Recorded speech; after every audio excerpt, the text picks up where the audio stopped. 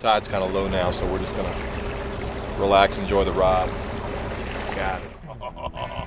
Is he a big one? Oh, Let's do it. Now we're going to show you some highlights of the saltwater fishing from our trip. We're on, buddy. You think Stewart's arms are tired yet?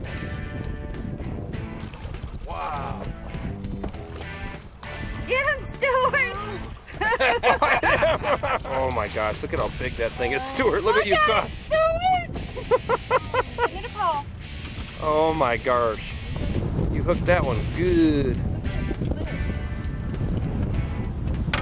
Oh, that is a nice fish. Okay, we're gonna turn this one loose, okay, Stewart? Thank you, Eric.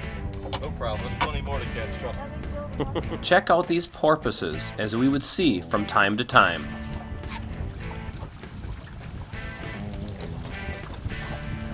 Get Stewart. Get the net in the water, buddy. Get him in there. There you go. Okay, but here, hold this ball. What a redfish! Oh, Wow. you barely hit him. Good deal, everybody. Good job, Terri Paul, Stewart. Oh, doesn't like it at all. We may have to do this drift again. Don't worry, Mom. That's Billie Jo even got into the action. He's not liking the boat, is he? No, get your net ready, Stu. I know. Oh, it's a drum. Get him.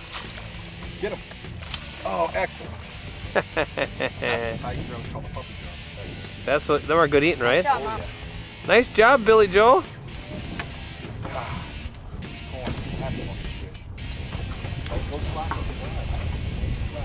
Don't give him slack, Stewart, buddy.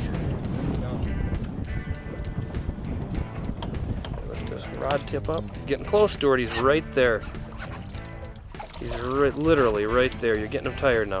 This is yet another big redfish. Get him? Done deal, pal. Whoa! Oh my gosh, that That's is a big one. big one. Stewart, we're going to try to revive him and let him go. He's too big to do what we want. He's beautiful, though, isn't he? He's Yeah, he alright. is. Yeah, he's going to be fine. I'm going to have to revive him. Okay? Come on, He's Dad. tired, huh? pictures. He's looking good, man. He's going to make it. A lot of times, if you turn them loose and they're real tired, the sharks will get them. Oh, I see.